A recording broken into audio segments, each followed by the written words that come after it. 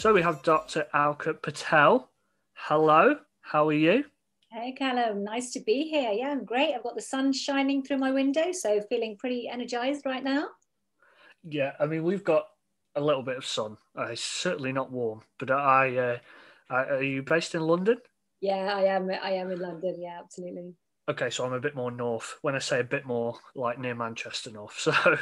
it's a uh, slight couple of degrees towards the colder end. I would, uh, I would imagine. I'm pretty sure. Yeah, no, it's it's nice here. It's got that freshness for that crisp autumnal day. I'm very excited to to have have you on as a guest because uh, of your background. So just explain to the listeners a little bit about about yourself. I am a doctor, as you know. I'm also a speaker, a coach, and a podcaster, just like you um, as well. And um, what I really like to focus on is very simply amplifying health as a skill and as an asset.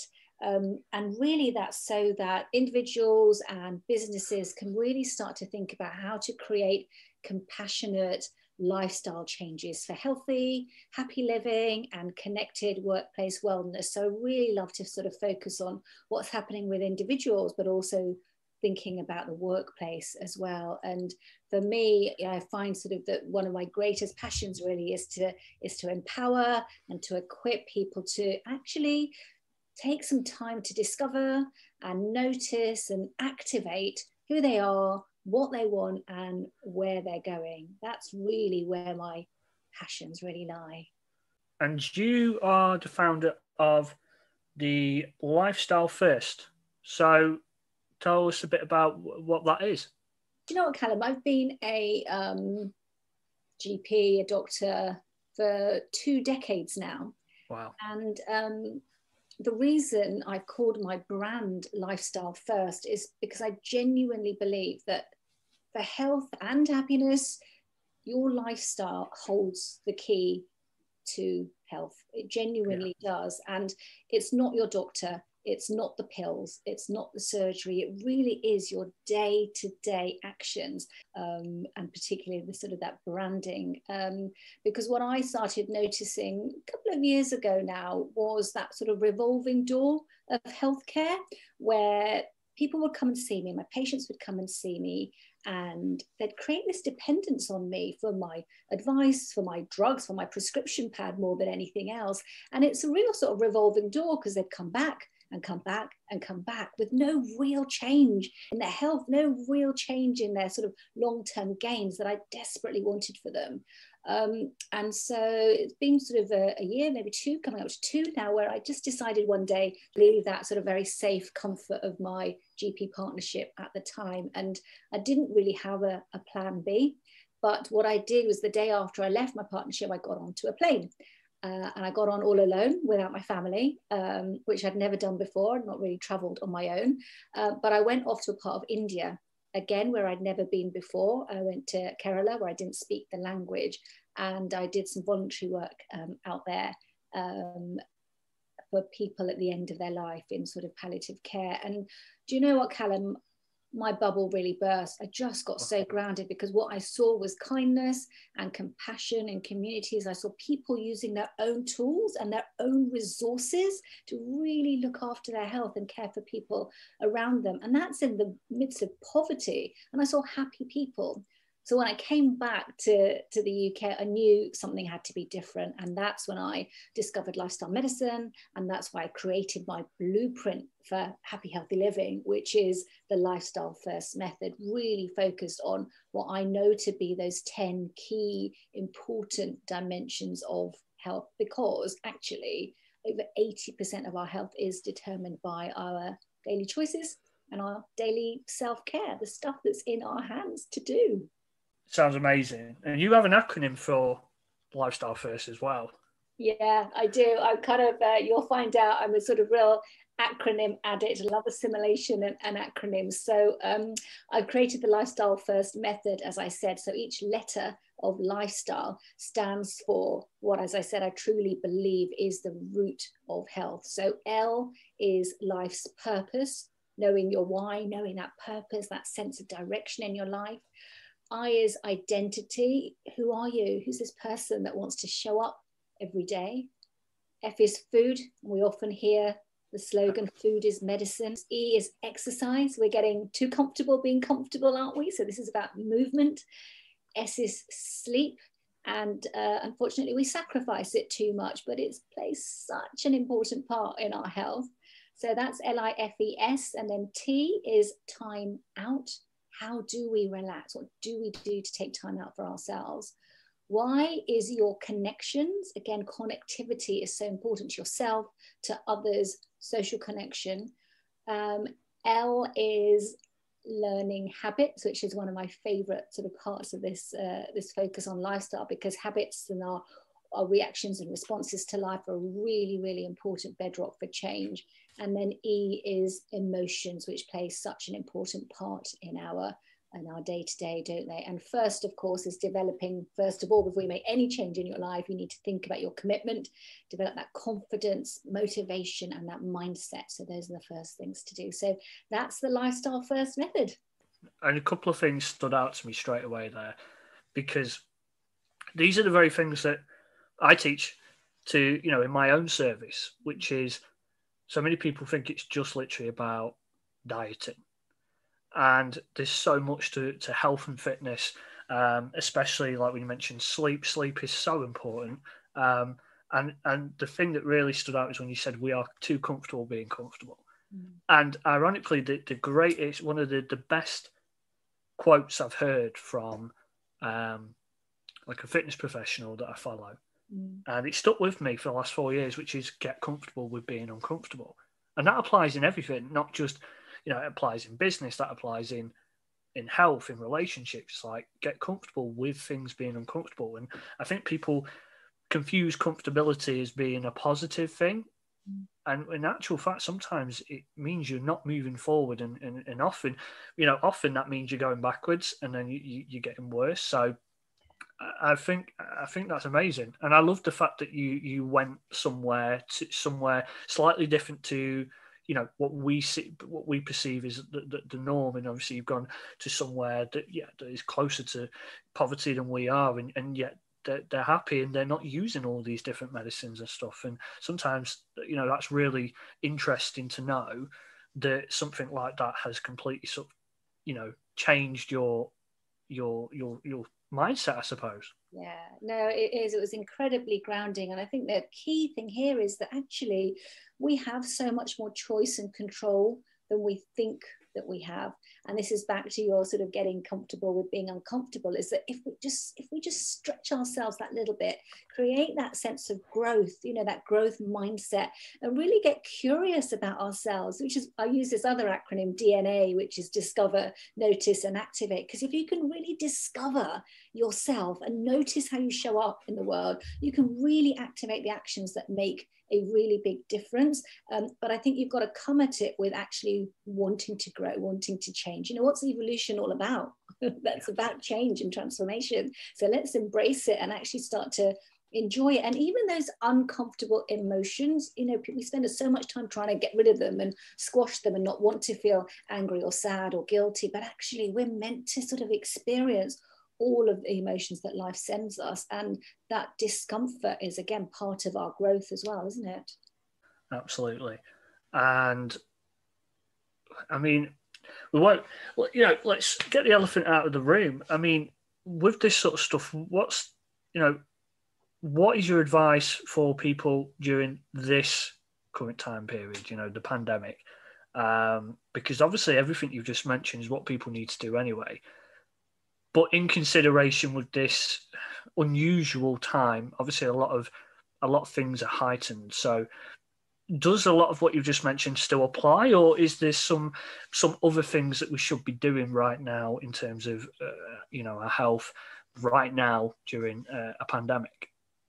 I think lifestyle applies even more now because I think what what COVID has done is open people's minds and eyes to the concept of everything being interconnected. So, if you look at the stats that are coming through, we know that people who suffer worse with, with COVID 19 are those that have got additional illnesses, diabetes, high blood pressure, um, and also being overweight. Those are three things that have come up. Now, these are three things that actually we don't have to have in our lives. You can say no to diabetes, high blood pressure, and being overweight because these are very much lifestyle illnesses. And I think what people are realizing is that actually you can change your parameters by changing the things that you do every day. And I think that's, you know, if there is a silver lining to come out of, of COVID, I think that is it. I'm seeing a lot more people who feel like they want to do things for themselves. But actually, the most important thing to remember is that this isn't just changing lifestyle, doing some stuff, it actually makes a difference. There's such a lot of research and information now that things work. These, you know, changing things makes a difference. Choosing every mouthful that you eat makes a difference to your long-term health goals. Um, and actually, you know, things like your DNA, your genetics, they're not fixed. Actually, there's a whole realm of another area I love to talk about, which is epigenetics, which is actually how the way we live our lifestyles changes the tags on our genes, on our DNA, lights up the star that actually makes us healthier and lives longer and you know even at a microscopic level this stuff is working for us so um, i think you know in a way i think covid has raised the profile the lifestyle becoming even more important as part of what you do?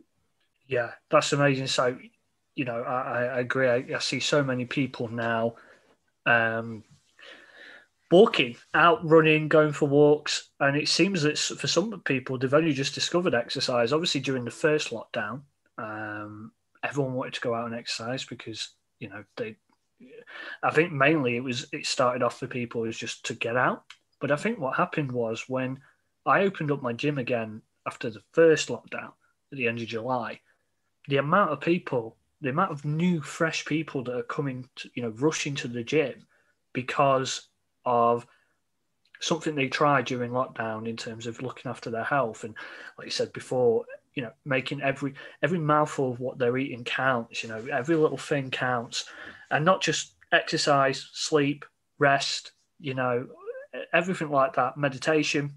So when people came back, my gym, you know, had this amazing growth of people, and all it was all these new faces, and you can tell it was people that have suddenly found this passion for exercise. So I think, yeah, I think you're right. I think COVID has brought a lot of this stuff that's already there, but mm. people are more aware of it now, and and, and they've, you know, they're discovering themselves now, and and, and how important um, having this lifestyle is. Mm. Do you not think it's something about the ripple effect? You know, when you do one thing that feels good, it ripples into wanting to do another thing that feels good and another thing. So the simple act of moving more or exercising more, you're also going to feel so good from that that you're going to think, well, do you know what? I don't need to mess that up by making wrong food choices that don't work for me. I'm going to eat better as well. And do you know what? Actually, I'm also going to hydrate better. And I know now that in order for me to feel good about exercising tomorrow morning, I feel better when I've had a good night's sleep. So I'm going to do that as well. And so before you know it, what started off as just I'm going to get get a daily walk in suddenly starts to ripple into all these aspects of your life. And actually, that's the transformative bit is that self-realization that everything is connected. I agree. And I think the, the ripple does start from moving I it can work in other ways, but what I find so with with my programs, I tend to take people through that journey, mm-hmm. and I, obviously we, we we're going to talk about habits, but my my my program and my most popular program, um, the work I've has is only in thirty days now. Myself and you both know that that's not enough time to really embed habits, but what it does do is do what you just said. It gets people on that on that ripple effect. It starts people on that journey, and we start off with steps, and then in the second week we we still keep with the steps, but then we start adding in the, the nutrition side, eating more protein, making better choices. Uh, then we move into hydration, like as you say. So we drink, you know, one one and a half liters of water, and then it starts working its way up. And then on week four, we really start focusing on physical challenges, start get, you know working on resistance exercise, and and and I tend to see that pattern. I tend to see that as people go on, that they want that next step. They start, you know, going on. Oh. but do you think that if people try too much of that stuff too too soon, that's when people tend to to either give up or or start to struggle. Yeah, I mean, look at we've got New Year's coming up. I mean, look at New Year's resolutions. You know, they're destined to fail because what happens is we go all in. We're like all in or nothing, and that's the way that you know our minds work. We're either going to change everything or we're going to do nothing. And actually, you know, coming on to talk about habits, the beauty of exactly what you've described is that layering and actually um, enjoying those steps. You know, you've got a journey that you want to travel. You've got maybe you've got a destination or a goal. It's not about getting there. You you need to enjoy the, the direction that you're going in as you're taking all those steps. And if you layer it, then you can really kind of celebrate all of that and enjoy it. But that's the problem. You know, we want to run the marathon before we've even bought a pair of good trainers um, and that's why I think uh, I think things kind of people lose hope or lose motivation um, is because we go at it too hard, too quick.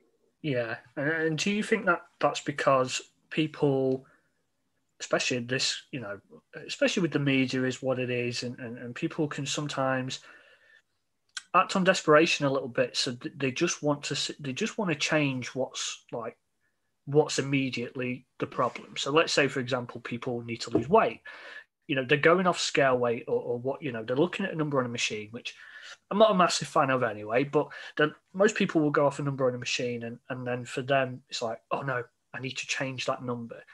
They're forgetting about all the processes that are involved in that. And that becomes an obsession that all they want to do is just lose weight and they want to lose weight now. And they'll do they'll look for any shortcut to make that happen as quick as possible so they can get that that relief that they're after. But actually it's it's all the the steps that to, to get to to achieve weight loss or to achieve general fitness that they're the enjoyable bits. Like like say going walking getting you know getting in touch with nature. And some of the the long-term online clients i've got and i've got one of them who is going to be on this show um, in a few weeks. When she first started, it, for her, it was the same as everyone. They just want to change the immediate problem. But then she's now been working with me for about 14 months.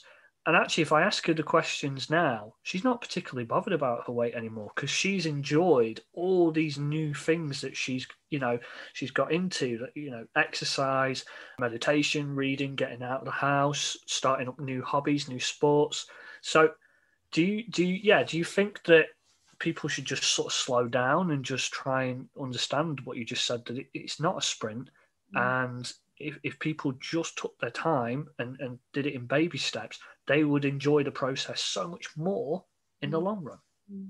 yeah i think probably two things from what you've said then i think there's something about this desire for instant gratification and we want that and we crave that and you know this is how digital tech works we get that you know instant gratification from seeing all those likes and comments and we we want that all all the time. And that's how our reward systems work.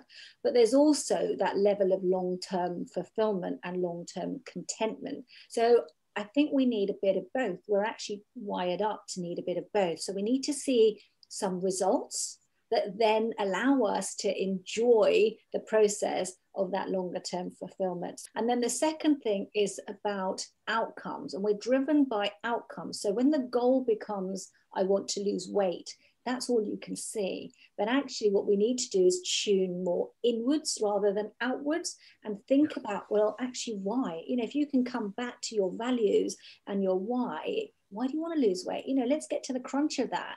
And then you're actually going to be driven more, not by the weight itself, but actually you, the person.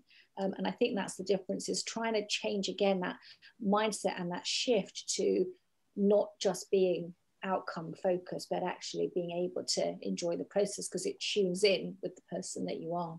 Absolutely. And I think that's, you know, people will people will laugh because I, I sort of I go at diet programs a lot. Um, but it's mainly because they're so focused on getting that result. And as you say, people want the results and they do need them results. People need to see something, otherwise they'll just think, what's the point? and they'll give up. But the problem is with these diet programs is they, they they'll help people achieve you know results quickly, but there's no real process to enjoy there. Um, other than restricting stuff. You know, you, it's just a, they're just programs where you take stuff away. You're not introducing new things that to, to get excited about, so that by the time they do get the results, let's say someone's lost a stone in five to six weeks on a diet program, but all you've done is take stuff away. Mm. You haven't, you know, you haven't introduced yourself to anything new, so that you know at the end of the the the result of the six weeks, you go, yeah, I've lost a stone, but what have I really done to achieve that? So then I think what you said before, the long term gratification isn't there because there was it's just a literal short term.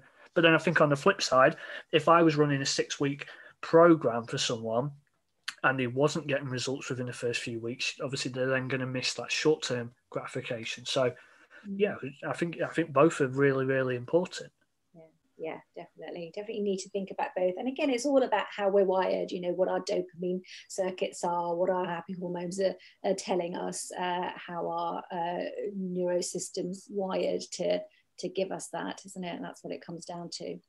You're talking about the dopamine thing and you mentioned about technology.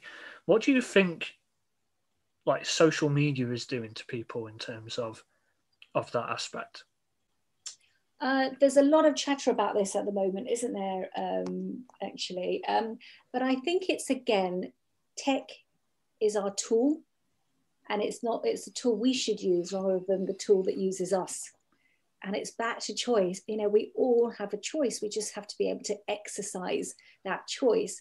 Um, so it's interesting you brought this up because it, it is a distraction tool ultimately. That's what it does you know and i found certainly for myself i'm in the flow of doing something um, writing you know an article and then the phone pings and my finger goes to it and there i'm off you know 20 minutes off on a tangent when actually what i wanted to do was really finish this article.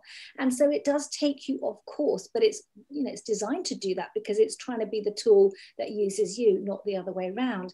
Um, and actually, talking about habits, then what I actually did, uh, what I've been doing for the last few weeks, is actually making my phone disappear. So it is now in a drawer away from my visual line, so that I don't even see it because the yeah. people that need me are here you know my family need me they know how to reach me and beyond that actually that sense of instantaneousness nobody needs me that instantaneously. Yeah. and if they do they'll be able to reach me. But by putting the phone away from my line of vision actually what i've done is created my kind of flow state and been able to be super productive. I can't tell you the difference it has made in allowing me to get on with the things that i want to do that i've chosen that are helping me be the person that i want to be. And it sounds like a simple thing.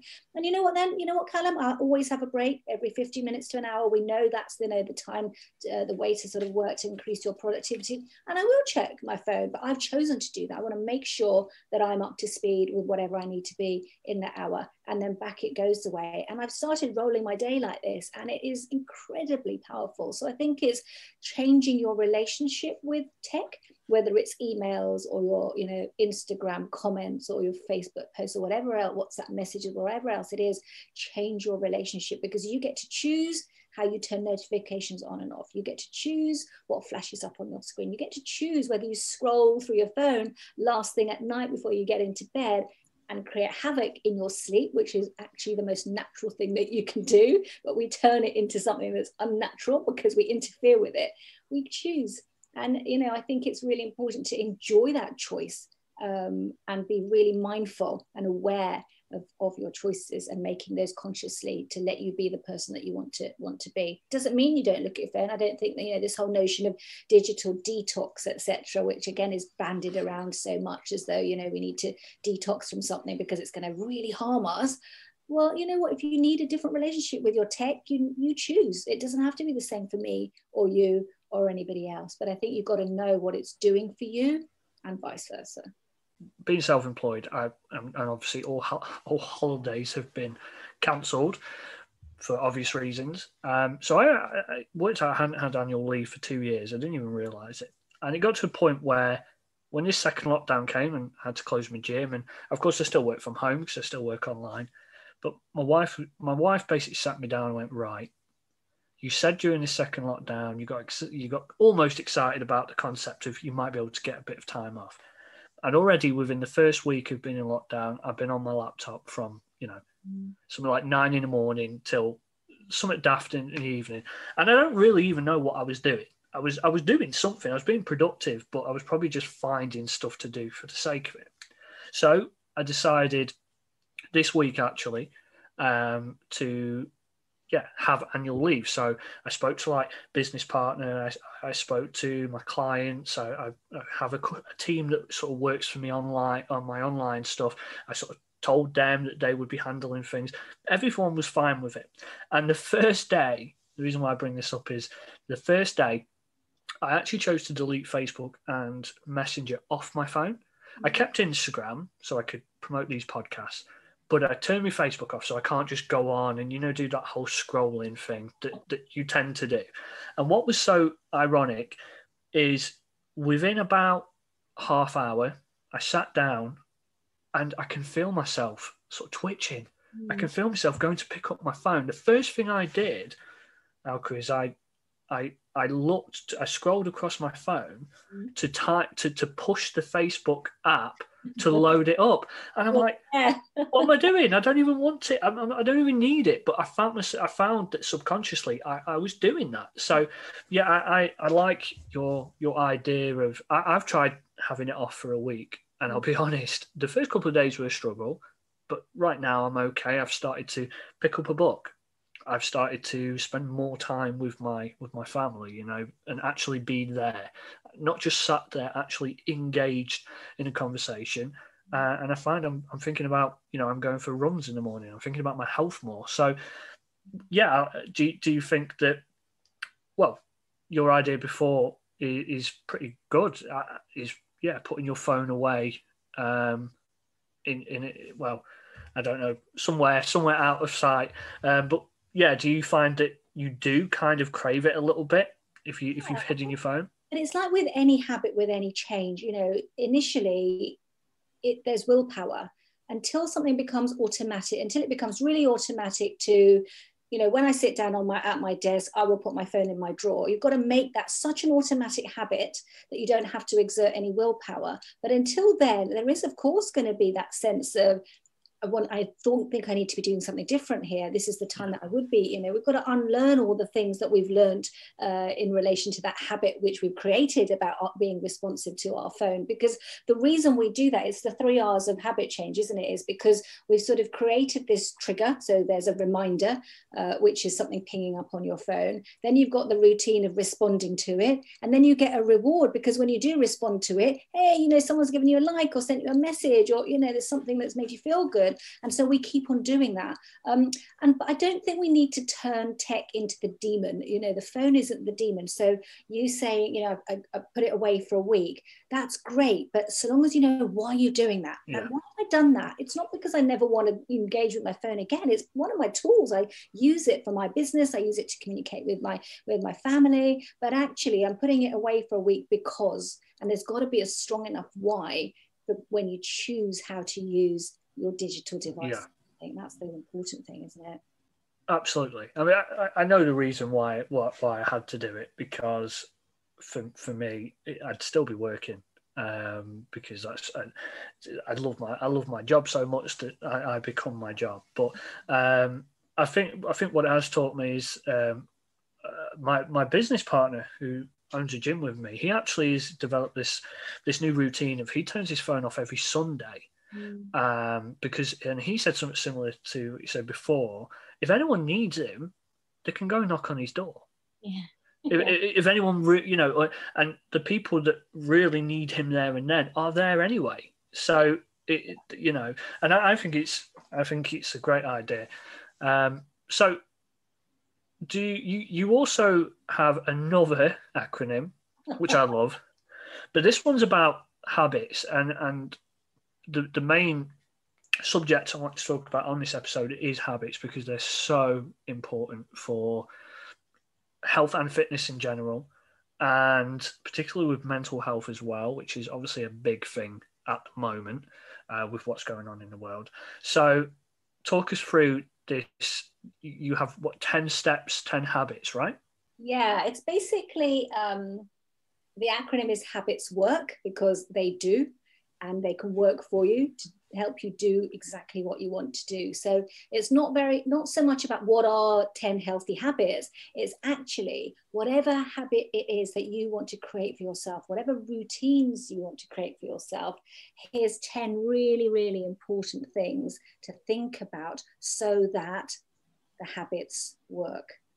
Um, so shall I kick off and maybe just start with? Uh, let's go with it. Okay, let's go with them. Let's do it. So H is for hook.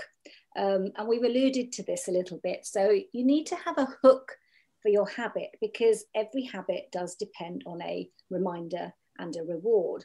So we often just sort of change our behaviors, don't we? So we often say, "Oh yes, I'm gonna uh, I'm gonna do some relaxation and breathing exercises every day," which is great, but that's an action, that's a behavior, that's not a habit that you're creating. To turn that action into a habit, you need to give it a hook.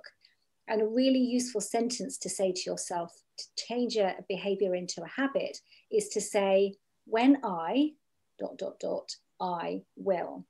So there's a difference between I will do some relaxation by breathing deeply every day and when I sit down and turn on my computer every morning, I will sit down and take six deep breaths because you've created this hook. You've created whenever my hand goes to turn my computer on, that's my reminder to take six deep breaths. And that's that works because a habit always has a trigger, a hook, and any association you make with that allows that to become much more automatic.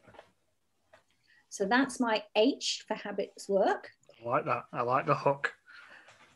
Then we've got accountability which is really important. So it's the sorts of things perhaps that you and I do is we are accountability partners, aren't we, for our patients, our clients. So actually telling your friends and family that you're changing things is a really good way for getting all that support and that motivation for the things that you want to do. And having a coach, you know, it's a really, really good way for a regular check-in because you want to be able to stay on track. And self accountability is really important because you motivate yourself. But, you know, things waver. And when you've got people around you that can also support you, that can also check in with you every now and again, that can also have a conversation about, hey, how's it going? You are going to be, you know, going for a 10 minute walk every day. What did you do when it was raining? Um, it's a really good way to keep yourself um, accountable. So um, I think that's the that's the A for habits work is to have some accountability accountability, find an accountability partner. And the other thing you can do with that accountability partner, of course, is celebrate your achievements. You know, we, you need someone to kind of bounce up and say, hey, I did it. Guess what I did? However small that is. Um, so that's H and A. And then uh, H A B. B is blow your trumpet. So this builds on that celebration because I don't know what whether you find this as well, but people don't celebrate the things that they do. We don't celebrate our micro wins, but actually everything is worthy of celebration. You know, even if you're on your own, a simple, yeah, I did it. You know, I drank that glass of water today because actually drinking two liters of water is one of those habits that I want to create. And the fact that I had one glass to start my day, amazing, I did it but we have to celebrate that. You have to have that punch the air moment and just pause. You know, we talked about pause, didn't you? And just pause to soak in the fact that actually you've done what you set out to do just in that moment. And actually, when it comes to habits, I think there are actually three celebration points that you get from just one habit. You get to celebrate because you remembered it, you get to celebrate because you did it, and you get to celebrate afterwards because actually it's done and i think that's really important is is you know blowing your own trumpet which we always think we shouldn't do um, but i don't know if you found that as well is that you know people don't spend enough time focusing on the things that they've done rather than focusing on the things that they haven't done yeah absolutely i'm, I'm always i will do weekly check-ins with a lot of my clients and, and i will tell them you know especially because they might lose two pounds. Now to them, it's, oh, it's only two pounds. Like, That's amazing. Or even if they haven't, it's not weight loss. Let's say it's you know they've walked fifty thousand steps in total that week. I'm like, that's amazing. You know, that's something you wasn't doing before. And and, and I will say to people, like, post that. Be account. You know, so that ties into the accountability of A as well. Yeah. in with in with blowing the trumpet. So intertwining two of those things there, it's like a be accountable, let people know you're doing it because then that adds accountability. You're not hiding away from it. You've put it out there that you are going to do this, you know, and then B as well is celebrate when you've when you've done something when you've achieved it. And most of the time when people do that, I think a lot of people are scared to blow the trumpet in case, well, you know how it is. People are always scared of what people think, mm. and they're scared that people will have higher expectations of it. So I, I imagine in my particular experience with with working with clients is that they're scared to blow the trumpet because they think that people will think, oh, well, why are you blowing your trumpet? That's not very good. And I have had those situations. I've had those situations where a client has say gone into work she's lost five pounds in a month which is as we both know is great you know as long as it's the right way and then she's had some a work colleague sort of like oh is that it you know so i think people's perceptions uh, people are scared of what people's responses are going to be and that'll put them off blowing the, their own trumpet but actually so I think you should just do it. You should, even if you celebrate to yourself those small little wins, you don't have to necessarily tell other people if you don't want to. But um, I'd encourage people to just write down the wins. You know, um, so one thing that I was doing in the first lockdown, not so much this one, is I started writing down my wins every evening. So I'd, I'd write down three wins of the day, and the reason why I enjoyed doing that is because no matter what kind of day I had, I'd always find something that was a win that day. Yeah, yeah. No, I, I love that. And I think definitely, you know, it's not so much about necessarily having to broadcast your achievements, but actually having that kind of sense of self achievement is even more motivating um, and you can have your own silent punch the air moment and actually physically you know jump up and, and punch the air. But i think that takes us um, really nicely into the uh, i for habits work which is about your identity. Um, because actually the other thing that i like to think about is when you have done what you've set out to do what does it tell you about yourself? You know when you're writing that that win down as you, you're doing what does it tell you about your character, your personality, your, your identity? So the I for identity is, is very much about that statement, I am. Because actually, if you've done something or are intending to do something, I am energetic, for example, is you know really really powerful statement of your identity. And if you can connect your habits with the person that you really believe that you are you will actually start to change your actions to match your beliefs to match your identity. Um, and so what i uh, think is really important is to create that sort of positive affirmation yeah. connects with your habit. So, if, for example, you want to create a habit of exercising better, then say out loud to yourself regularly, write it down, put it on post it notes I am energetic. If you want a habit of being more tidy, again, regularly say to yourself, I am organized, and write those down and keep them visible because I think that's identity statement really, really is probably where habits should start from, resonating with you, the person. Um, so yeah, so that's um, H A B I, and then I've got T. So the T for habit is tiny. Start tiny, and I think we've talked about this yeah. a bit, haven't we? You know, we've yeah. got to really, really simplify change to micro change, micro habits, and actually start with the easiest thing that you can do. Like it's so easy, you almost feel as though, well, I'm not doing anything, I'm not pushing myself, I'm not stretching myself, but actually you are because it's about those small changes. So, as I said, you know, for me, for some reason, drinking water is so difficult. Even right now, I've got on my desk, you know, there's. I can't find my water bottle. As, as we're talking, you mentioned it before, and I'm, you, you just said something about. My, I have a two litre bottle of water, so I can do it. And already it's not in my room. I'm terrible for it yeah. You know? I know exactly. It seems like it should be the easiest things, but I can watch water growing bubbles and I still wouldn't yeah. wouldn't drink it. But actually, to change that habit, just start with one glass every morning, and yeah. and that's exactly what I'm doing. I'm really getting into this routine of every morning and it's starting to get automated and when it gets automated that's that's when you can start to build it and it's the reason it's becoming automated is because it's tiny drinking one glass of water. Yeah, I can do that. Get up in the morning, have a glass of water. Easy, done. And then you can start to layer it and layer it. um, and then start to become like brushing your teeth when you're not even thinking about it. So absolutely the key is, you know, start tiny. It's that 1% rule. I did a post on uh, social media recently about that, is it's really breaking down whatever you want to change into the tiniest 1% change that, uh, that you can make. Um, so that's habit, H A B I T. These already all co- connecting together. This is already brilliant stuff, and we haven't even finished the acronym yet. but, but, before we move on to W, regarding habits, because we've just finished the habits word of the acronym, how long do you really think, or, or is it based on the person? How long do you really think realistically it, it can take to really have something become automated and become a habit that you can build upon? You know, there's different suggestions that it's sort of six weeks, 12 weeks, some people even suggesting a lot longer. Is it really just dependent on the person, or is there a, a realistic time frame that you can expect to work on something so much that it just becomes a habit? Um, yeah, that's a really interesting question because there's quite a lot of research sort of banded around um, about this. And the, the real answer to that question is it depends on the complexity of the habit itself. Um, and you'll have heard a lot about, you know, 21 days to, to create a habit. Um, and actually, where that came from was from a um, plastic surgeon.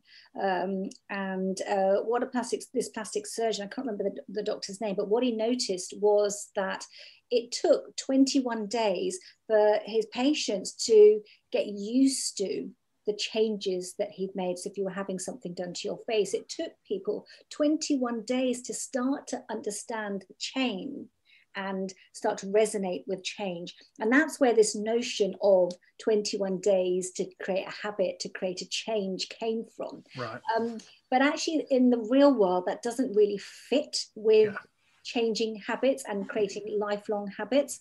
Um, what more research has shown is it's you know people like a number, and the number that's coming up in averages is 66 which is kind of a much more realistic number. For embedding change. But actually, exactly as you said, it could be three months, it could be, you know, it could be a year, depends on the complexity of what you want to change. But I think, you know, people like to have numbers in their head. I think 21 yeah. is not the number to have in your head? Yeah. Um, but more than that, it's about repetition, isn't it? And it's about persistence um, that's going to create and, and create the number of days for you um, until it becomes until life becomes automatic for that particular area for you. So I wouldn't focus too much on change on the number. I would focus a lot more on exactly what you said, enjoying that process, creating that ripple effect, and just building and building and building rather than setting this sort of, you know, ill defined timeline, really. Perfect. All right. So let's go on. Let's carry on with our acronym. Let's go to W. What we got? We've done S. Habits. So. Oh, habits. There you go. I'm missing. I'm missing S.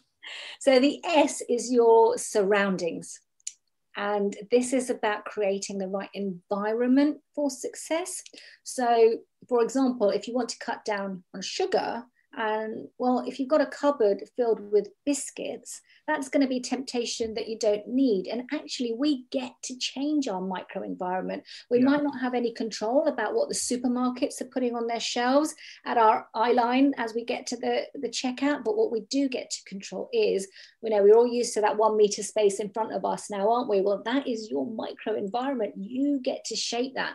So, you know, put in the triggers to create a habit there as well as remove the triggers for the habits that you that you don't want. Um, so for I'll give you an example. At the moment, I'm trying to um, build what I call what I'm calling five by five. So by 5 a.m. in the morning, I'll have done a five minute uh, walk uh, on the treadmill. And what I've done to help trigger that is I've put my trainers right next to the treadmill and I, they stay there. If I come off the treadmill, I put, take them off, put them there. When I get on, they're there. Now that trigger, that's me creating my surroundings to make sure that everything that I need to make five by five happen is there for me. And I have to worry about, you know, where my mm. trainers. I'm, oh God, I can't find them today. They're upstairs. I won't bother. I literally have created the right environment. And so I think that's really important. If you want to go for a daily walk, there's no point having your trainers in the back of a cupboard, you know, create those surroundings for success because that's what we need. You need good surroundings for a good habit. And all our behavior is very contextual. We're very, very influenced about uh, uh, by what's around us, aren't we? And so, really think about what are you surrounding yourself by and who are you surrounding yourself by as well, because people influence us big time too. Putting something in place to to to make you do it. So, you know, the same thing I, I tell people to um, to do with their alarm clock. You know, like put put the put their you know, if, if I want people to do a workout early morning because they need to, because you know they might work a long time and they know that the evenings are not a good time for them to exercise. Mm. They know they want it to be in the morning, but then when it gets to the morning, they obviously change their mind. So I tell people to like literally put their alarm clock over to the other end of the room. They have to get up to then press snooze or turn it off, and then there's a couple of dumbbells right next door, right next door to the alarm clock.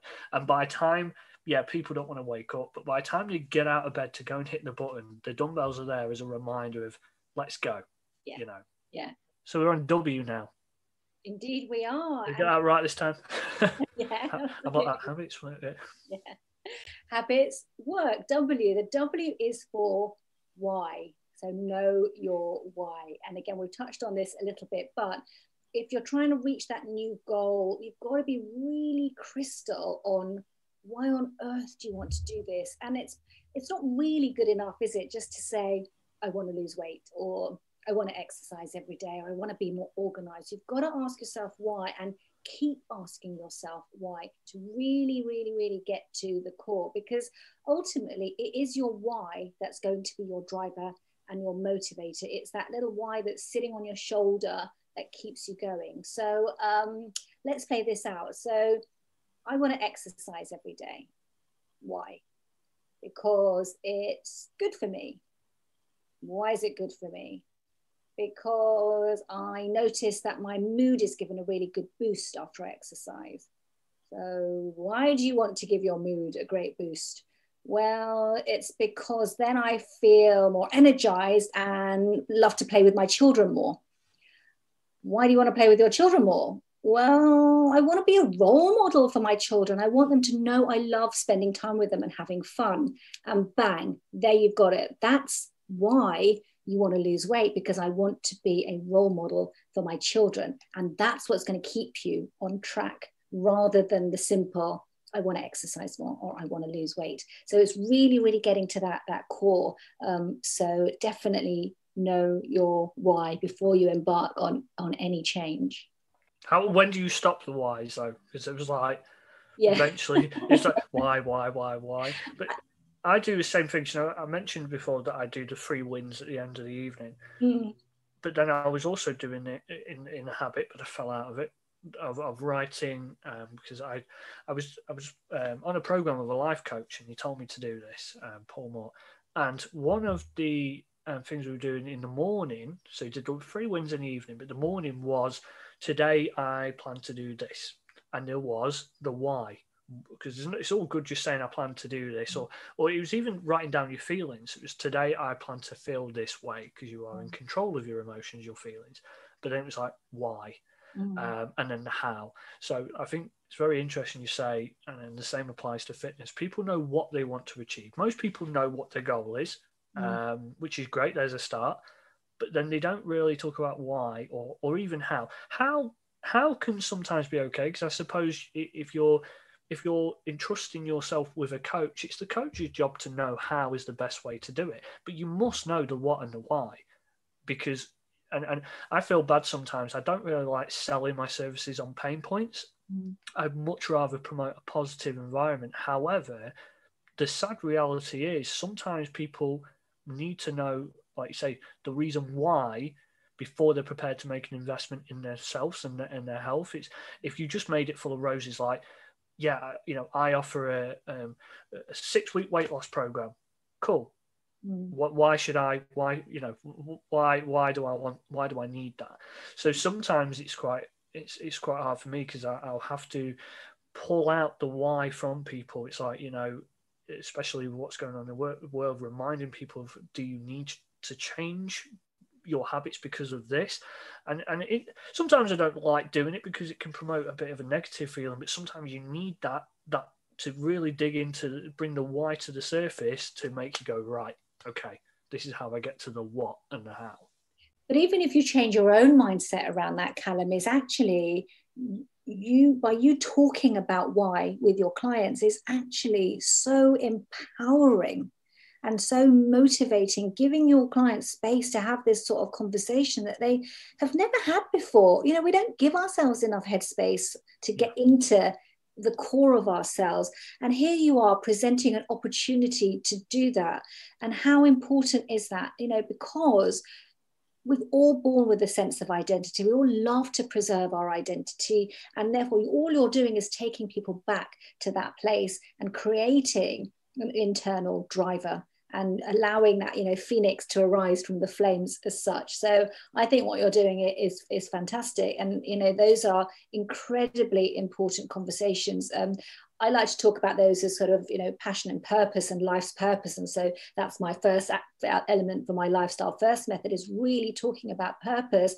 And it is incredibly transformative. So I think you're doing a fantastic thing, actually going out of your comfort zone to help someone back to that, you know, comfortable and uncomfortable yeah. part we were, we were talking about um, and doing that. But actually, I think it's a really good thing that you're doing in terms of what you're actually being able to create from just that conversation. Oh, well, thank you. Now I don't feel as bad. Brilliant. Um, amazing. So, um, oh. where are we? Oh, we're on yeah. 04 obstacles because we've got to expect them. There's going to be roadblocks, there's going to be obstacles. Life's not meant to be a straight line. We're meant to go off course, aren't we? But Absolutely it's anticipating the roadblocks. It's anticipating the obstacles so that you can plan for them and know how to circumvent them. So otherwise we keep raising barriers and we don't achieve those habits that we want because of the blocks and the barriers that are, that we create. Um, but we've got to think about how do we overcome these obstacles. So it's a bit of planning. If you want to go for a run every day what are you going to do on a rainy day? How are you going to continue your habit? Are you going to be able to run around the furniture in your house? Are you instead going to go up and down the stairs? What is your alternative resolution? And I think that's the area. I think it's really important to think about obstacles, appreciate them and accept them. They're going to happen, but plan for them. I think especially now, especially right now, um, you know, I have a lot of people who, you know, love going to the gym whether we think that gym should be, you know, included, uh, classed as essential or not, is is not the debate to bring up. However, um, a lot of people now, you you could say that the obstacle is a lockdown that not everyone could envision happening. Uh, the first time round, and then even on the second time round, it kind of just happened so quick that it may have thrown people off course a bit. So people have been forced to now have to find an alternative to go into the gym, which they get so many different benefits from, depending on the person. Um, so, what do you do if the obstacle is just not predictable at all? Again, it's back to choice. You know, we all we all have a choice. Okay, so the gyms have closed down. What else can I do? You know what? I'm going to think back to when I was a kid. What I loved doing was hula hooping. That is difficult. that is very yeah. difficult. But you know what? It is. It's it's it's creating some thinking time to think about what else. You know. So me, for example, I'm just looking around. I've got a pair of dumbbells down by my desk, and again, they're in my surroundings as a reminder. Uh, the fact that you know I can't get to the gym and use 50 different weights. Well, do you know what? I can still have a set by my desk, and in between conversations, I can actually utilize them. So it's again thinking about back to, you know, what can I do? What is it that I'm going to be able to create from this situation? Yeah, I've it much preferred kind of the group classes, but that doesn't mean it's all or nothing. Um, so we're now on to R.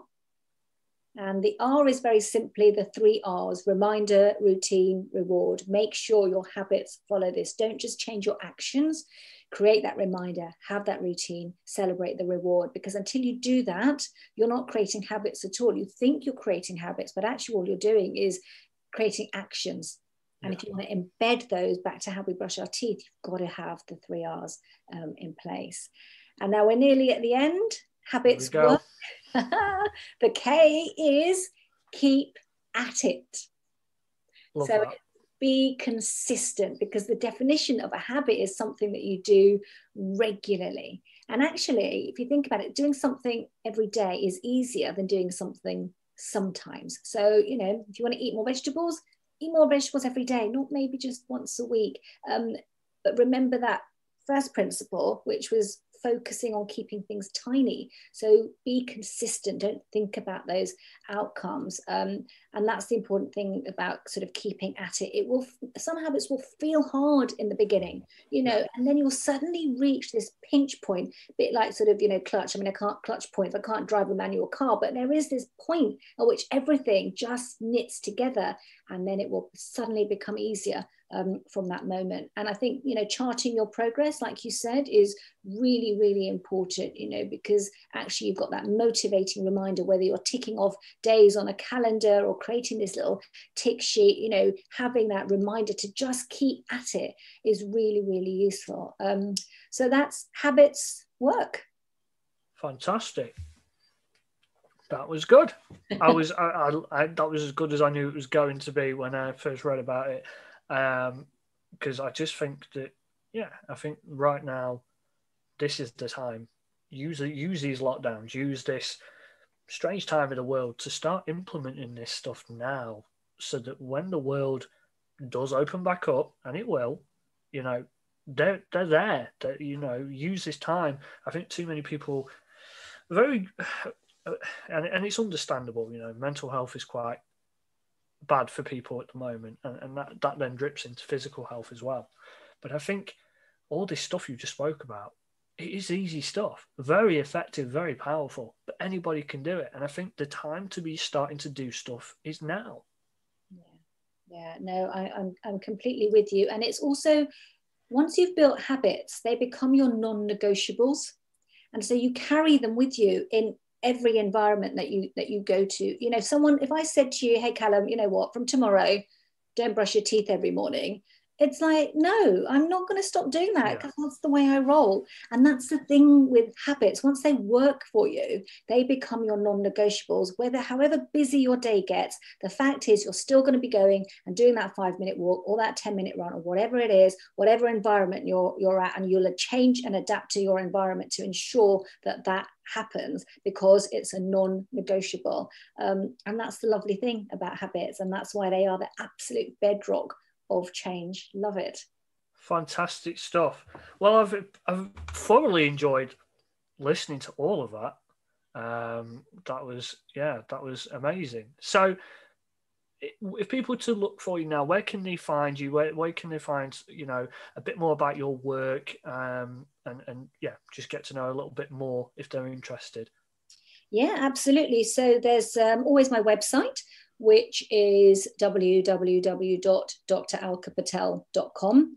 Um, and you can easily kind of book in a conversation with me through that or, or drop me a message and there's lots of info um, on there uh, like you i'm on all the sort of social media channels and that's um, at dr alka patel uk so you can you're very welcome to drop me a line drop me a message um, through there um, and actually the um, one exciting thing that i'm doing uh, that i must tell uh, you and your and your listeners is i'm actually launching a little uh, video series over the 12 days of Christmas. So it's called The 12 Days of Christmas.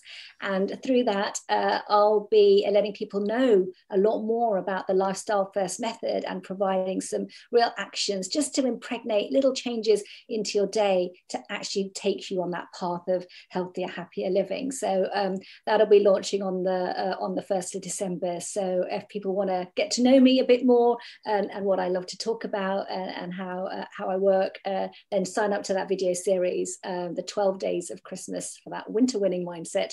Um, and let's get to know each other. Amazing. Okay, well, I'm going to drop. Um, I'm going to drop that link and stuff into the description of this episode so people can go and check you out. If not, search for Dr. Alka Patel on social media and yeah, go and give her a follow. Get ready, definitely jump on that uh, video series. That sounds awesome, especially, you know, especially with what's going on, and we don't really know where where we fall around Christmas for a, for a lot of my well, for the UK is split, but I know if people are listening in England, it's a little bit different. Um, we don't really know where we stand um, in December. This might be a perfect time to jump on something like this. Absolutely, and I think I just also want to say. Big applause to you as well, Callum, for uh, getting this podcast going. I think it's an incredible thing that you're that you're doing, putting out you know really important, vibrant messages as as well, um, and just for yourself as well. You know, it's something that you've just said. I'm doing this, and here you are doing it. So, uh, you know, living out your passion. So, really do. Got comfortable with being uncomfortable. Absolutely. Thank you very much, and yeah, it's been fantastic to have you uh, on the show.